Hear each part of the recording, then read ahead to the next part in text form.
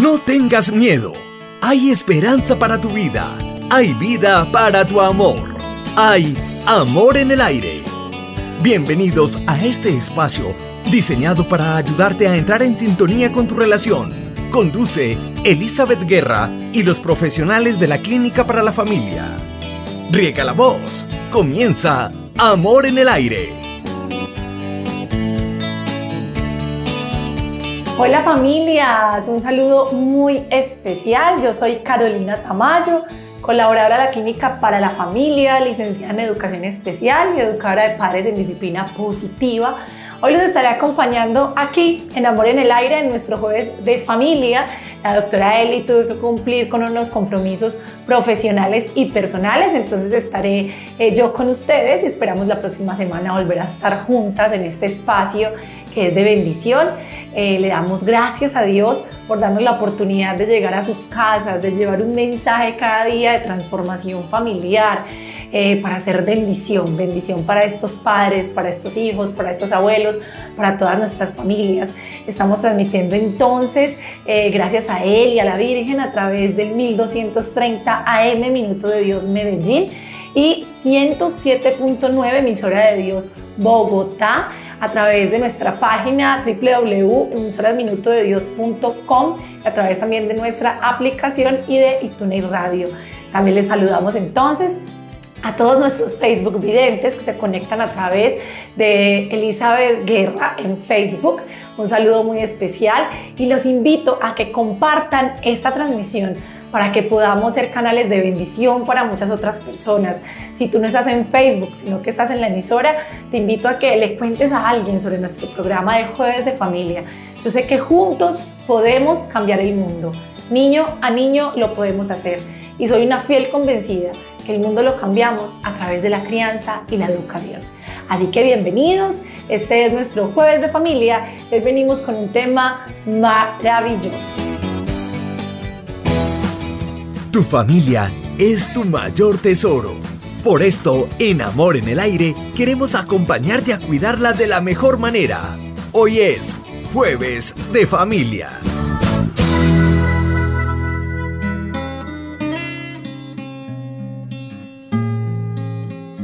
Y bueno, familias, el tema de hoy, enmarcado en el tema que ha venido durante toda la semana en nuestra emisora, es el trabajo en equipo, la familia vista como un equipo.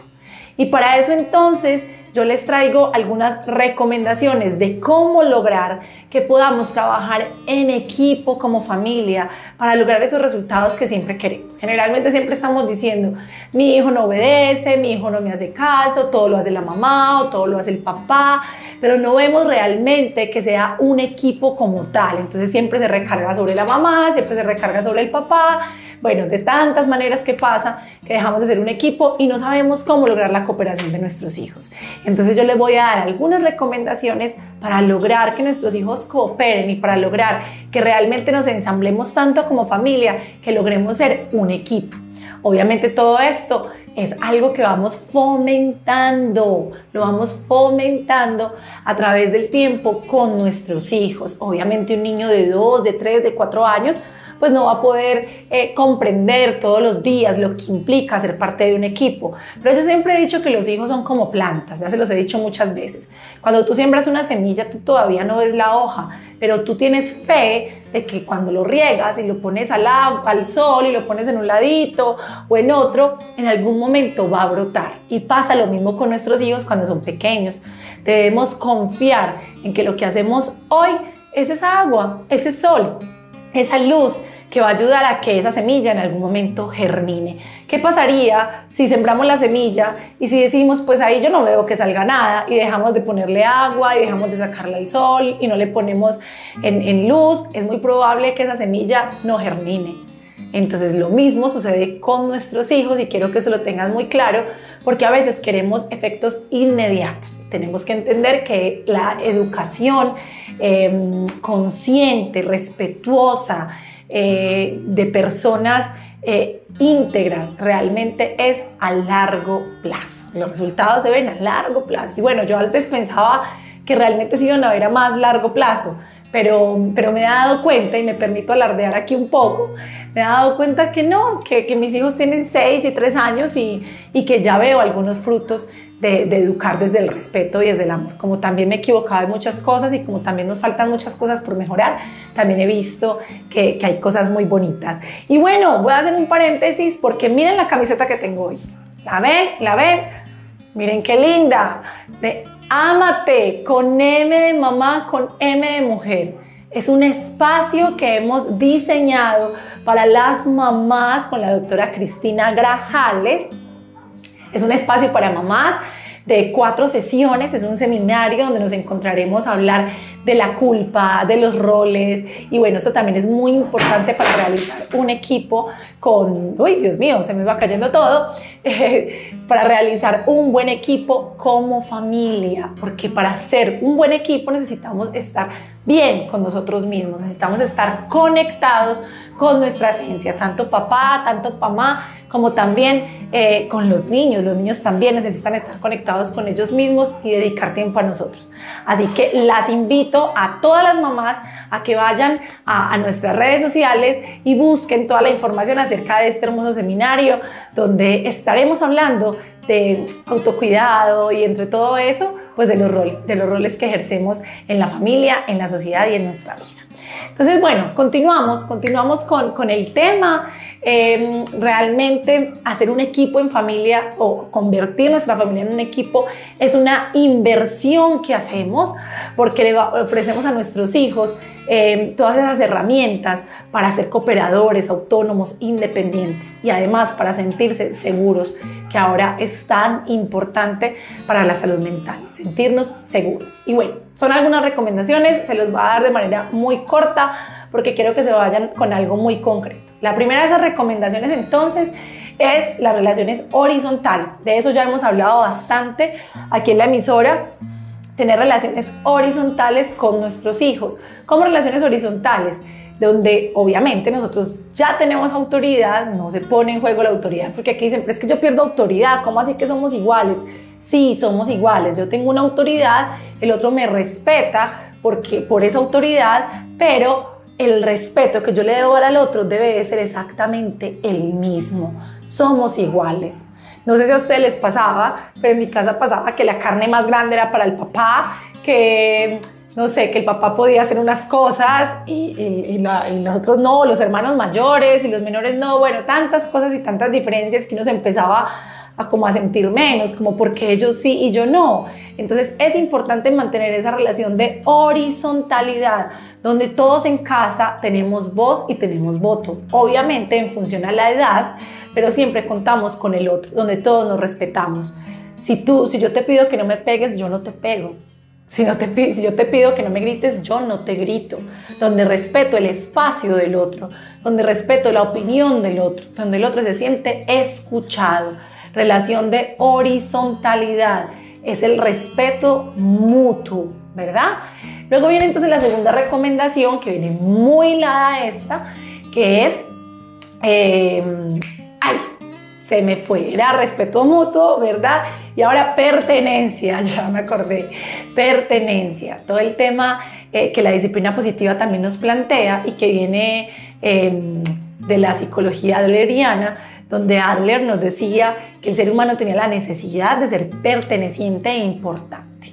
Entonces, todos nos tenemos una necesidad intrínseca de sentir que pertenecemos a algo, que somos importantes. Y siempre les digo, ¿cómo se sentirían ustedes en el trabajo eh, si el jefe, eh, no sé, reconoce a otras personas, a otros compañeros, les... Em, les hace reconocimientos físicos, verbales, o los tiene en cuenta para tomar decisiones, eh, les pregunta, los saluda, en fin, y a ti no lo hace, contigo no lo hace. Te sentirías perteneciente, te sentirías importante, te sentirías motivado. Es muy probable que no, ¿verdad? Lo mismo pasa con nuestros hijos en nuestra casa. Muchas veces ellos están ahí, pero somos nosotros quienes decidimos qué hacer, cómo hacer, casi que decimos también todo de ellos, que se tienen que poner, que no se tienen que poner, que tienen que comer, que no tienen que comer, a qué hora tienen que levantar, que se tienen que acostar. Y si bien es cierto que hay cosas que tenemos que decidir por ellos, sobre todo con los más chiquis, porque todavía no tienen ese nivel de conciencia para tomar ciertas decisiones, también es cierto que los debemos involucrar en esa toma de decisiones para que sientan que pertenecen a este lugar, que somos una familia donde todos nos respetamos por igual y además donde pertenecen y tu opinión es importante. ¿Cómo se sentirían ustedes en ese espacio laboral si ese jefe te llama y te pregunta y te dice, hey, Caro, vení, yo estaba pensando como en hacer una modificación en estas ventas, no sé tú qué opinas, qué crees tú que, que cómo nos pueda ir?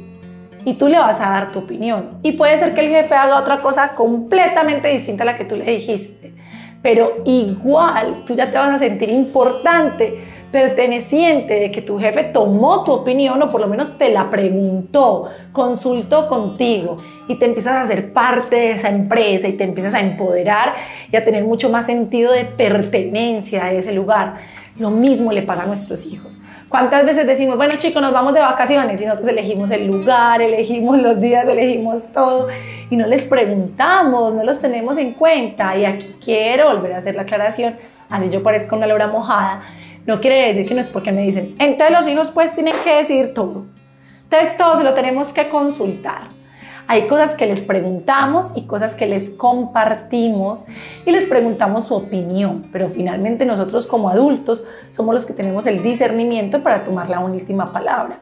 Pero definitivamente es importante que ellos, que nuestros hijos de cualquier edad, chiquiticos de dos años, de tres, de cuatro, hasta adolescentes, inclusive, yo todavía me sigo sintiendo perteneciente cuando mi mamá o mis hermanos me llaman a preguntarme algo, alguna decisión familiar o algún problema o alguna, algún viaje, lo que sea. Me sigo sintiendo perteneciente e importante. Entonces esto es para toda la vida. Preguntar al otro y muchas veces queremos que nuestros hijos cooperen o hagan caso cuando lo único que hemos hecho durante tanto tiempo es dar órdenes, dar órdenes y dar órdenes. Haga esto, bañese, vístase, recoja, colabore, recoja la basura, atienda la cama, lave el carro, limpie la mesa, lave los platos. Siempre es instrucción, instrucción, instrucción, instrucción. Les hemos preguntado, amor, necesitamos que cooperes en casa. Y tenemos esta lista de actividades. Limpiar la mesa, lavar el carro, eh, lavar la cocina, barrer, trapear. ¿Con cuáles de esas cosas tú te sientes cómodo haciéndolo? Porque necesitamos que te hagas responsable de algunas de ellas. Es diferente, es diferente. El niño, el joven van a cooperar de mejor manera cuando se sienten parte de esa decisión, cuando se sienten parte de este barco, no cuando sienten que simplemente son llevados por la corriente. Y después entonces decimos, pero es que este no sabe tomar decisiones pero yo no sé, decida usted mi amor cuando ya va a a la universidad y no sabe qué estudiar, pero decida usted mi amor y les esperando a que la mamá y papá le digan qué estudiar. Porque es que mi papá y mi mamá toda la vida me han dicho qué hacer, nunca me han dejado opinar, nunca me han dado pie para que se me desarrolle todo este pensamiento crítico, para poder decir me parece, no me parece, y nunca me he sentido escuchado. Y cuando no se sienten escuchados en casa, ellos van a sentirse escuchados afuera. Y muchas veces la retroalimentación que encuentran afuera, muchas veces no es la mejor. Así que tenemos que asegurarnos de escuchar a nuestros hijos en casa, de que ellos se sientan pertenecientes, importantes y escuchados. Entonces miren que ya van dos, ¿cierto? La primera relación horizontal de respeto mutuo, la segunda entonces de todo ese tema de sentirse perteneciente e importante. La tercera y muy importante es construir el código familiar. Ya también hemos hablado muchísimo de esto. La doctora Eli tiene una conferencia hermosa que se llama Familias al Timón. En Padres Propositivos también tuvimos la oportunidad de construir nuestro propio código. Bueno, es muy lindo cuando, cuando construimos ese código familiar. ¿A dónde vamos? ¿Para dónde queremos ir? Pero hay una frase muy bonita que dice, si no sé para dónde voy, pues voy a llegar a cualquier lado. ¿Hacia dónde vamos con nuestra familia? ¿Cuáles son los principios que identifican a esta familia? O que la diferencian de otras familias y que está bien, está bien los principios que cada uno quiera tomar. Algunos dirán, bueno, en esta familia uno de estos principios es que creemos en Dios fielmente, en la Virgen, no sé, ¿cierto? Otra familia podrá ser otra, bueno, no sé, pero ¿cuáles son los principios que determinan esta familia? Y cada familia son diferentes, en algunos puede ser la honestidad, en otros puede ser el emprendimiento, en otros puede ser eh, no sé, el cuidado por el planeta, el ambientalismo, tantas cosas. Somos tan diversos, pero es importante que tengamos muy claro cuál es ese código familiar, hacia dónde vamos como familia, quién es mi esposo, quién es mi hijo y qué cosa le aporta importante a esta familia. ¿Cómo construimos ese código familiar? Pues primero, obviamente los adultos eh, los papás o, si vives con, con, tu mamá o con una hermana, cómo esté constituida la familia, nos sentamos a pensar en eso, bueno, cuáles son los principios que queremos determinar, que queremos que determine nuestra familia y reconocer nuestra familia por esos principios, los queremos trabajar e instaurar y fortalecer en nuestros hijos. Y comenzamos a definirlos. Entre ese código entonces empezamos a definir esos límites negociables y esos límites no negociables y luego entonces los compartimos con nuestros hijos. Les preguntamos, esto es lo que queremos que sea la familia. ¿Cómo creen ustedes? ¿Cómo ven ustedes a la familia? ¿Qué les gustaría a ustedes obtener de esta familia? ¿Qué, les gusta hacer en familia? ¿Qué, qué actividades? ¿Qué cosas nos, les gusta, que disfrutan ustedes como familia para irla fortaleciendo? Y construir ese código. Esos son nuestros principios. Todos los lunes vamos a hacer esto. Todos los sábados vamos a almorzar donde la abuelita. Esas son las cosas que los van haciendo parte de ese código y los van haciendo sentirse a los muchachos pues pertenecientes, seguros y, y, como claro, o sea, ese es mi código, yo tengo que aportar a ese código, me preguntaron, lo construimos en familia, entonces también me predispongo a hacerlo parte de mí.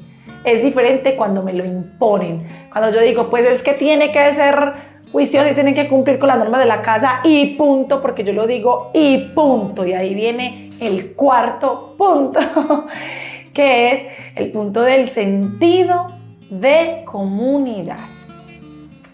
El sentido de comunidad es poderle compartir a nuestros hijos la idea y principalmente nosotros eh, tenerla muy clara la idea de que la familia es la primera comunidad. Y es ahí entonces donde efectivamente se aprenden a respetar los límites, a conocer las normas, para no porque me da la gana y punto, y porque mi papá dice y punto, y yo soy el papá y aquí se manda, sino porque realmente esas acciones, esas conductas que yo tengo en esta comunidad pueden afectar de manera positiva o negativa al otro. Yo cumplo con este código familiar porque este código familiar nos ayudará a vivir mejor en comunidad. Yo no puedo pegarle al otro, yo no puedo gritarle al otro porque eso hace que se afecte el ambiente en comunidad. No porque yo soy el papá y me tienes que respetar. No, es porque yo soy una persona, hago parte de esta familia y nos tenemos que respetar todos. Y cuando tú gritas, cuando tú golpeas, cuando tú transgredes un límite, todos nos afectamos. Entonces, cuando trabajamos el sentido de comunidad, empezamos a instaurar en nuestros niños ese sentimiento, ese sentimiento, no, esa, esa habilidad, esa mm, fortaleza, ese sentido de responsabilidad, de responsabilidad social, de entender que aquí no estamos solos, que cada cosa que yo haga puede afectar al otro. Trabajamos la empatía, trabajamos un montón de habilidades prosociales. Entonces vamos a resumir un poquito antes de irnos al corte para que lo tengamos claro y al regreso em, cerramos todo este tema tan importante que hoy nos convoca. Entonces, primero, respeto mutuo, relación horizontal. Segundo, sentirme perteneciente e importante. Tercero, establecer un código familiar. Cuarto, fomentar en nuestros hijos el sentido de comunidad a través de la familia. Y bueno, nos vamos entonces a un corto comercial para que la emisora de Bogotá pueda cumplir con sus compromisos comerciales. Y mientras tanto, los que están aquí en Medellín, pues vamos con eh, Amor en el Aire Te Invita, con todas las invitaciones maravillosas que tiene la Clínica para la Familia para ustedes. Dios soñó tu familia. Ahora tú trabaja por ella. Por eso, agéndate con Amor en el Aire y la Clínica para la Familia. Los miembros de una pareja deben complementarse. Aunque no tengamos los mismos gustos, en ocasiones hay que ser flexibles por el bien de la relación, porque somos un gran equipo. Te invitamos a la conferencia El uno para el otro o el uno contra el otro, aprendiendo a formar equipo con tu pareja. Nos vemos este 21 de septiembre a las 7.30 pm. Inversión 10 mil pesos. ¿Qué esperas?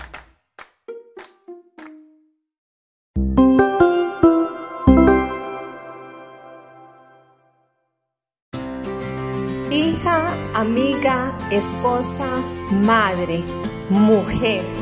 Es tiempo de sanar tus heridas, es tiempo de regalarte un día para amarte, reconocerte y validarte.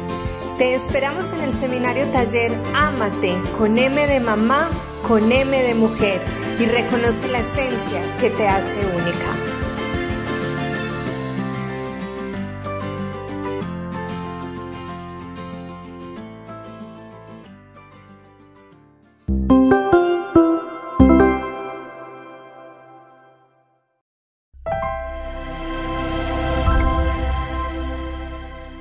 La tiendita del amor te está preparando muchas sorpresas en este mes que es de amor y amistad. El amor es intimidad y es confianza. Por eso aprovecha este mes para renovar la sexualidad en tu relación con nuestro combo erótico. Por tan solo 47 mil pesos. La tiendita del amor. Productos que llegan al corazón.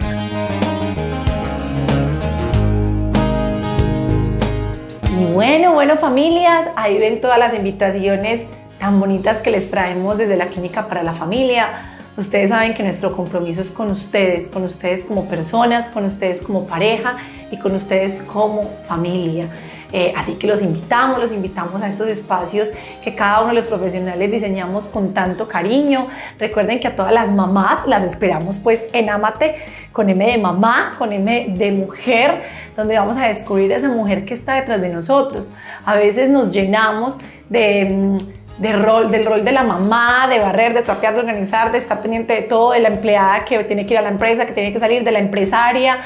Y nos olvidamos de mirarnos a nosotros mismos porque no tenemos tiempo. ¿Y a dónde se fue esa mujer?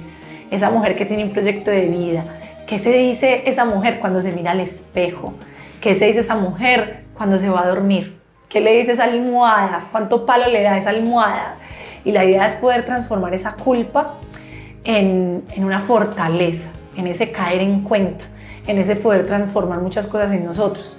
Renunciar a la idea de una madre perfecta que en algún momento nos metieron en la cabeza y poder abrazar esa mujer real, esa mamá real que realmente somos y aceptarnos de manera incondicional. Y estoy convencida que la medida en que más en paz, en serenidad, en equilibrio estemos con nosotras mismas, pues más lo estaremos con nuestra familia. Así que bueno, vaya pues inscríbanse, anótense. Por ahí hay em, en el grupo del maestro de mamá, las que hacen parte del grupo del maestro de mamá, los que no vayan y corran y busquen en Facebook el maestro de mamá, un grupo de Facebook y ahí les daremos entonces un descuento para que nos puedan acompañar en este espacio tan maravilloso creados para ustedes con mucho amor junto con la doctora Cristina Graham. Estamos en Amor en el Aire.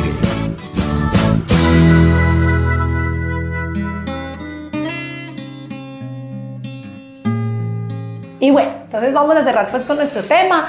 Como lo vimos en el antes del corte comercial, entonces estábamos hablando de relaciones horizontales, de respeto mutuo, de em, código familiar, la importancia de, de, tener muy claros cuáles son los principios y hacia dónde vamos como familia e involucrar a nuestros hijos en la construcción de ese código familiar. En un tercer punto, entonces teníamos el sentido de comunidad, ¿verdad? ¿Cuál es ese sentido de comunidad? Eh, el cuarto punto, perdón, el sentido de comunidad con nuestros hijos. A ver chicos, entonces ya para terminar, para cerrar, yo vengo con un último punto que más que un punto es una estrategia, una herramienta que desde la disciplina positiva nos ofrecen para hacer que todo esto de, cooperar, que todo esto de ser un equipo, pues se lleve de manera más efectiva. Ya con varios papás de padres propositivos eh, lo estuvimos aplicando, realmente les ha ido súper bien, a otros no tanto, porque los niños están muy chiquitos o porque, bueno, les nos falta un poquito de práctica o porque hay que pulir algunas otras cositas de comunicación por ahí, pero en general, esta es una herramienta maravillosa que nos da la disciplina positiva para comunicarnos con nuestros hijos y hacer un buen equipo como familia. Esta herramienta se llama la asamblea familiar o la reunión familiar. Hay diferentes formas de llamarlo. Nosotros lo llamamos en la clínica para la familia la asamblea familiar. Lo hacemos una vez a la semana y es una herramienta muy simple que se hace en, algunos pasos. La idea es convocar a nuestros hijos e invitarlos a que un día X, no sé, el, próximo sábado chico nos vamos a sentar todos porque vamos a hacer una asamblea familiar. Los invitamos. En esa asamblea familiar entonces lo primero que vamos a hacer es agradecernos. Agradecernos uno a uno. Entonces yo le agradezco a mi esposo, le agradezco a mi hijo Juan Martín, le agradezco a mi hijo José Alejandro.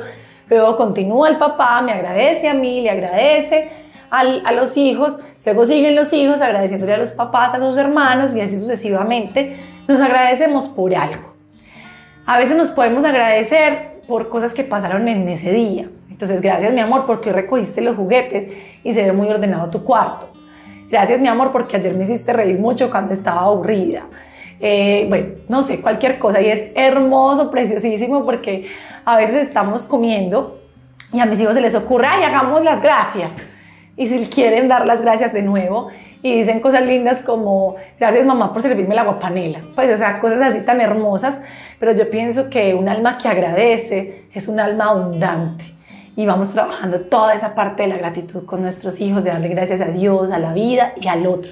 Y si se dan cuenta, muchas veces estamos dándole órdenes a nuestros hijos, pero muy pocas veces les agradecemos. Así que la asamblea familiar inicia con ese espacio de agradecimiento. Luego entonces se pone un tema sobre la mesa. Eh, digamos que va a ser su primera asamblea familiar. Entonces van a poner un tema cualquiera sobre la mesa que quieran discutir. Eh, no sé, por ejemplo, las vacaciones, algo así. Entonces, listo chicos, nos queremos ir de vacaciones y pues queremos saber ustedes a dónde quieren ir, qué les gustaría, qué opinan y qué piensan. Eh, demos ideas, hagamos lluvia de ideas. En ese momento, pues empiezas a escuchar las ideas de los niños, que, o de los jóvenes o de los adolescentes. Y realmente es muy chistoso porque, ay, yo quiero ir a Disney, ay, yo quiero ir, y a veces salen con cosas que no son viables en ese momento. Pero en ese segundo punto, lo único que hacemos es lluvia de ideas todo lo que se diga en ese momento es válido. Todo, porque nos estamos escuchando. Y si mi hijo dice, ay, yo quiero ir a Disney, y nosotros no le decimos, no, mi amor, pues imposible, para allá no tenemos plata de ir, pues le quitamos las ganas, entonces, de participar en la asamblea. Ok, Disney, escribamos Disney. Eh, también entonces damos roles, sobre todo pues para cuando están los niños más grandecitos. Entonces siempre hay un secretario que escribe toda esa lluvia de ideas. Entonces escribimos en una hojita la lluvia de ideas, eh, bueno, irnos a Disney, a Santa Marta, no, yo no quiero ir de vacaciones, yo quiero mejor comprarme un PlayStation, bueno, escribamos eso también como opción. Es simplemente una lluvia de ideas donde todo es válido en ese momento.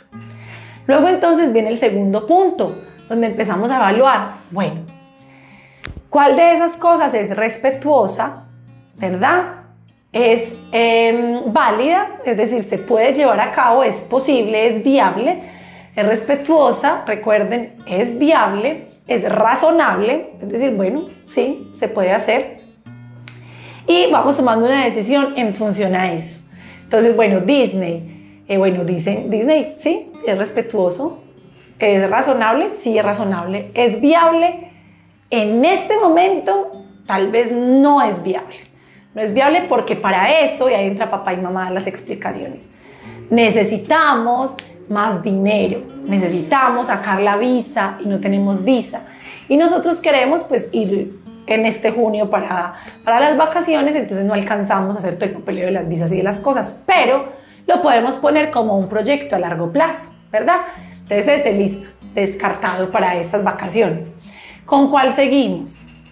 Ah, con San Andrés bueno, es viable, a quién le gusta, a quién no le gusta, y miramos y entre todos vamos tomando una decisión. ¿verdad? Una decisión conjunta, una decisión democrática y los niños se sienten parte de, y entonces finalmente decimos, listo, esta va a ser la decisión, nos vamos a tal lado y vamos a, necesitamos este dinero, necesitamos que haga, hacer esto, necesitamos reunir esto, a lo mejor, no sé chicos, eh, durante dos semanas, eh, no sé, no iremos a ningún centro comercial a comer nada para poder ahorrar y podernos ir para, para San Andrés y tener ese dinero para que lo podamos gastar allá. Tenemos, hacemos un plan de acción y lo revisamos en la próxima oportunidad. Y la asamblea familiar termina siempre con un momento especial en familia. Algo rico, ver una película, preparar una receta, eh, hacer un juego de mesa, cerrar esa asamblea familiar con algo divertido en familia, con ese tiempo de calidad en familia. Miren, papás y mamás y abuelas y tías y todo. Los vínculos familiares se fortalecen a través del tiempo de calidad, no de los regaños, no de la cantaleta, no de las instrucciones, no del esfuerzo que hacemos para que aprendan, no de todo lo que trabajamos para que no les falte nada, eh, todo eso es importante. Pero los vínculos familiares, los vínculos con nuestros hijos, se fortalecen a través del tiempo de calidad, de ese tiempo, de ese disfrute emocional, donde simplemente con un triqui, con una lotería, con un monopolio nos sentamos a jugar y estamos felices. Con una hoja y pintamos en un momento de película donde todos comemos crispetas y nos vemos una misma película todos. Esos son los momentos que fortalecen los vínculos familiares. Así que ahí es donde tienen que apuntar y por eso la asamblea familiar termina con este espacio tan significativo em, para las familias. Entonces, bueno, familias, la asamblea familiar la pueden usar, pues en este caso pusimos el ejemplo de las vacaciones, pero lo pueden usar para todo, no sé, para establecer responsabilidades entonces. Vamos a establecer responsabilidades en ese sentido de comunidad. Todos tenemos que aportar con algo, todos tenemos fortalezas, todos somos mejores en algo y somos un rompecabezas, ¿cierto? Que formamos la familia y todos somos piezas fundamentales de ese rompecabezas.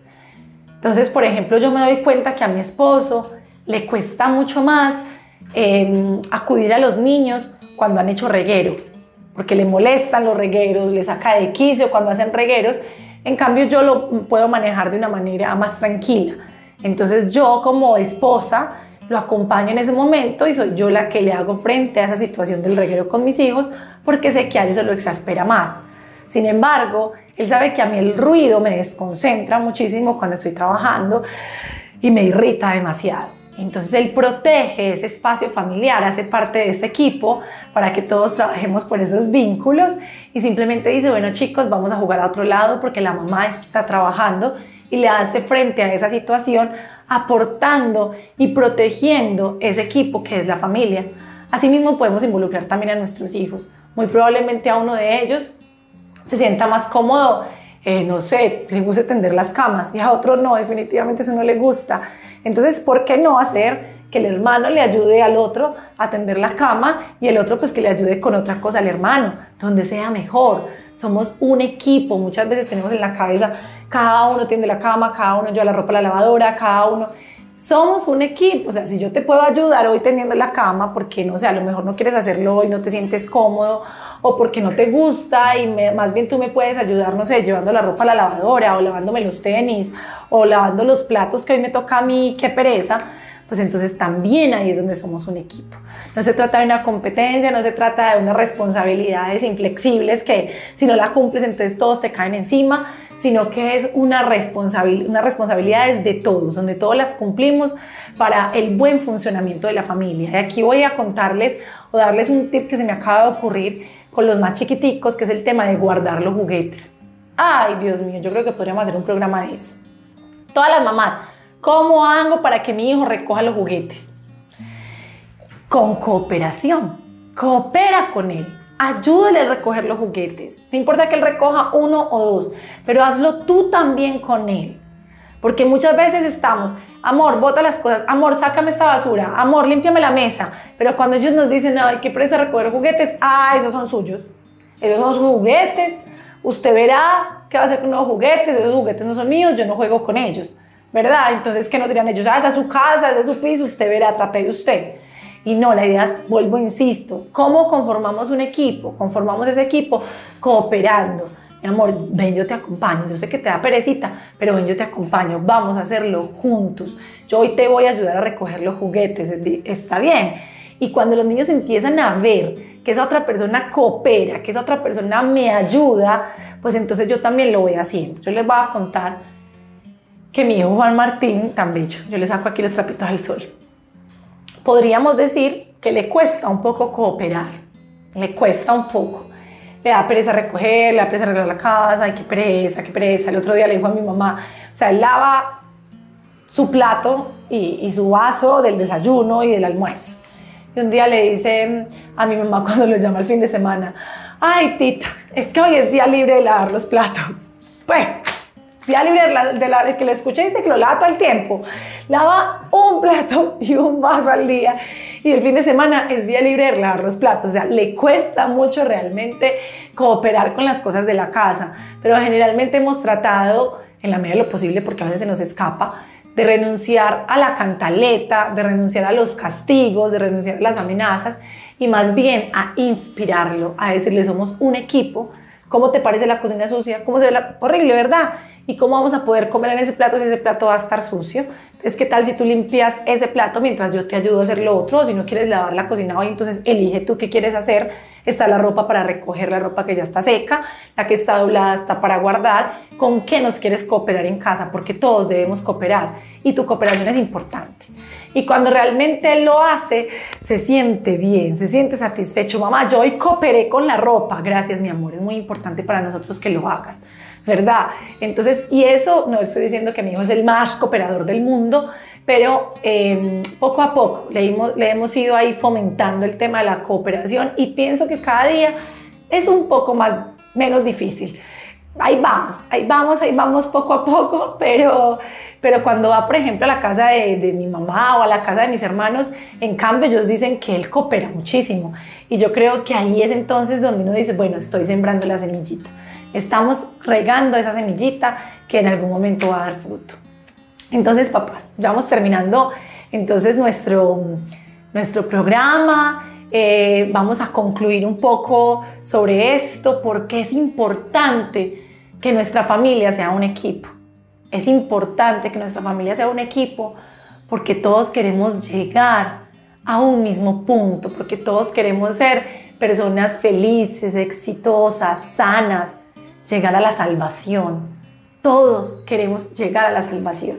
¿Y cómo llegamos a la salvación? De manera conjunta, como equipo, instaurando en nuestros hijos esos hábitos de respeto y de comunidad, pero nosotros acompañándolos, no desde aquí, desde esta posición de mamá, de papá autoritario, de haces lo que yo te digo, sino esta posición desde acá, donde juntos, peldaño a peldaño, vamos llegando a esa meta que es la salvación de nosotros los cristianos, es la salvación, cómo nos vamos acompañando.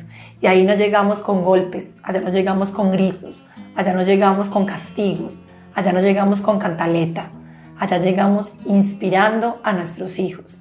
Como pareja es importantísimo ser un equipo, ese equipo tiene algo en común, es el bienestar de los hijos. Y así pensemos de manera diferente. Así uno piense que la correa, a veces piense que el otro no la correa, lo que sea, así pensemos de manera diferente, es fundamental llegar a un acuerdo como equipo, entender que juntos vamos a buscar el bienestar de esta familia, porque si bien es cierto que tenemos una relación horizontal, seguimos siendo los capitanes de este barco. Y si este capitán del barco dice que para allá y el otro para allá, pues no vamos a llegar a ninguna parte. Vamos a terminar mareando y confundiendo a toda la tripulación. Entonces nos tenemos que poner de acuerdo y para eso tenemos que en parte renunciar a ese ego que nos dice yo sé cómo se hacen las cosas y tienen que hacer de esta manera. Yo los invito a que escuchemos al otro, a que busquemos ayuda. En la clínica para la familia ofrecemos para los padres eh, asesorías en crianza.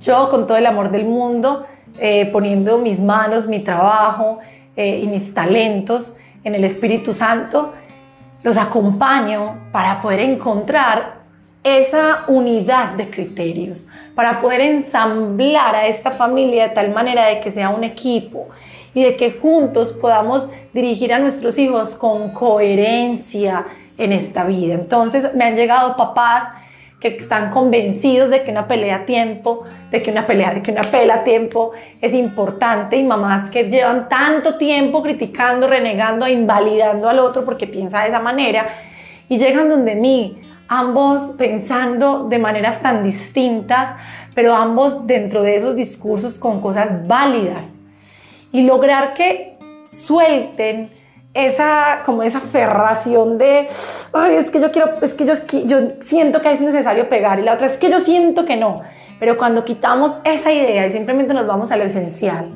qué es lo que queremos el bienestar de nuestros hijos. Ok empecemos por ahí. No empecemos por lo que nos eh, nos separa. Empecemos por eso que nos une. Lo que nos une es el bienestar de nuestros hijos ok tú opinas una cosa distinta a la mía los dos tenemos una verdad distinta. Busquemos una persona que nos ayude a encontrar esa forma donde juntos podamos lograr el bienestar de nuestros hijos. Pero si cada uno se mantiene en un polo opuesto, nunca van a lograr el objetivo, que es ese bienestar. Así que ambos tienen que ceder y lograr encontrarse en un lugar. Y es tan bonito porque mm, cuando les voy preguntando, bueno, ¿y por qué crees que es importante? ¿Y por qué crees que es fundamental el castigo? ¿Y por qué todos llegamos al mismo punto? Pues porque quiero que sea un hombre de bien, porque quiero que sea feliz, exitoso, que se pueda desenvolver bien en la vida, que sea un buen cristiano, que no le haga daño a nadie. Y la mamá entonces dice, o generalmente la mamá, a veces también el papá, también quiero que sea un buen ser humano. Es la misma cosa. Queremos llegar al mismo lugar, pero ambos tienen caminos distintos. ¿Qué tal si buscamos un tercer camino? un tercer camino donde lleguemos más rápido y donde pues ambos renunciemos a algo, pero también nos mantengamos en nuestro firme propósito, que es el bienestar de la familia. Así que ser equipo no requiere solamente estas recomendaciones que les di, sino que ser equipo en familia también requiere renunciar un poco a nuestra verdad, renunciar un poco a nuestras creencias limitantes, renunciar un poco a nuestro ego, completamente a nuestro ego y darnos cuenta que no somos los dueños de esta familia, que somos una pieza fundamental en el rompecabezas, como también son los demás. Bueno, familias, espero que este programa haya sido de muchísima bendición para ustedes. Para mí es un placer estar aquí compartiéndoles un poco de lo que sé, eh, compartiendo un poco de lo que el Espíritu Santo eh, pone en mi boca, en mi corazón para compartirlo. Espero el próximo jueves entonces ya estar aquí con la Doc Eli compartiendo eh, otro mensaje para fortalecer nuestra familia. Eh, le, damos muchísimas gracias a todos los oyentes, le damos gracias también a los operadores que nos acompañaron hoy a través de, de la emisora, le damos gracias a, a, Carlitos López, que es nuestro editor, y obviamente a nuestro director también, el, el padre Javier Riveros. Le damos gracias a la clínica para la familia, especialmente yo le doy gracias a la clínica, a la doctora Elizabeth, por darme la oportunidad de estar aquí compartiendo con ustedes este mensaje para las familias. Así que nos despedimos recordándoles que Dios soñó la familia y nosotros trabajamos por ella. Beso, Dios los bendiga. Chao, chao.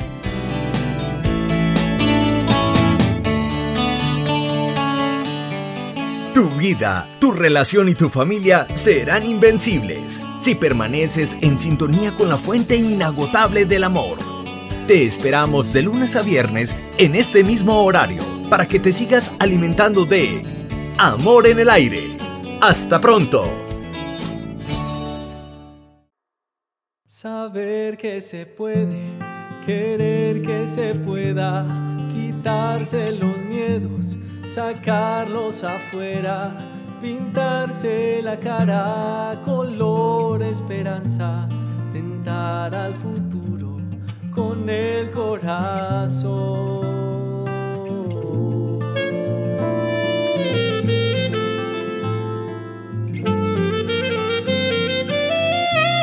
Saber que se puede, querer que se pueda, quitarse los miedos, sacarlos afuera, pintarse la cara con toda esperanza, tentar al futuro con